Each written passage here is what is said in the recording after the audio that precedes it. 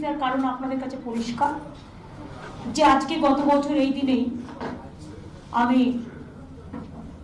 শপথ নিয়েছিলাম তৃতীয়বারের জন্য মুখ্যমন্ত্রী হিসেবে মামাটি মানুষের আশীর্বাদ, শুভেচ্ছা, দোয়ায়।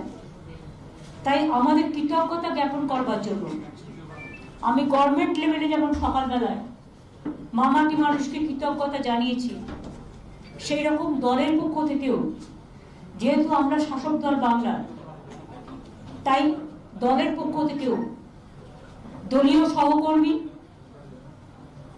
এমনকি আমার মামাটি মানুষ, যাদের বাদ দিয়ে গণতন্ত্র চলে না, গণতন্ত্রই যাদের সবচেয়ে বড় সংজ্ঞা ডেমোক্রেসিতে ম্যান পাওয়ার তাদের প্রতি কৃতজ্ঞতা, শুভেচ্ছা, দোয়া জানিয়ে আমাদের প্রতি যেন তাদের ভরসা, চির অটুট থাকে। আমরা আমাদের মামাটি মানুষকে খুব ভালোবাসি এবং তাদের আমরা ভরসা করি।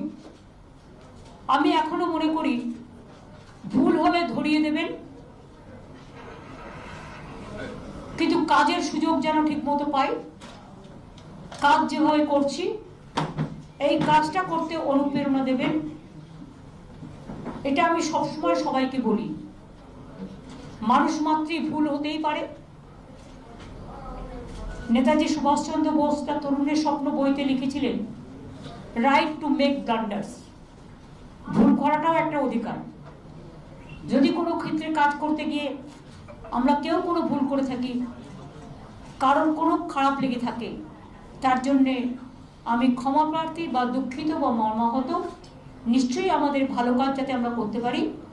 মানুষ সব সময় সেটাকে শুধরে দেবেন, সাহায্য করবেন, সহযোগিতা করবেন। আমি আমার দলস্ব দলীয় সহকর্মীদের কাছে এই মেসেজই দিয়েছি। বাংলা উন্নয়নের পথে মানুষের সাথে। মানুষের সাথে থেকেই আমাদের করতে হবে। যে মানুষ পরিষেবাটা পাচ্ছে না, কেন পাচ্ছে না, তার কাছে পৌঁছে দিতে হবে। পঞ্চায়েত লেভেলে আরও বেশি করে কাজ করতে হবে।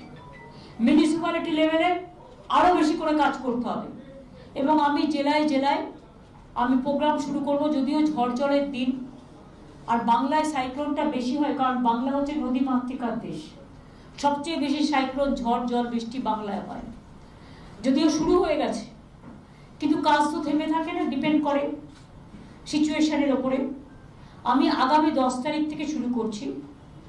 গভর্নমেন্ট আজকে পাঁচই মে থেকে পাঁচই জুন পর্যন্ত এক মাস ব্যাপী বিভিন্ন কাজকর্মের মধ্যে দিয়ে মানুষের কাছে পৌঁছবে।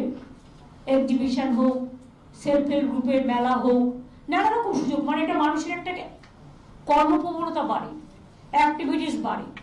একটা খাদ্যের দোকান হলো, একটা মেলা হলো, কত কাপড়ের দোকান তৈরি হয়।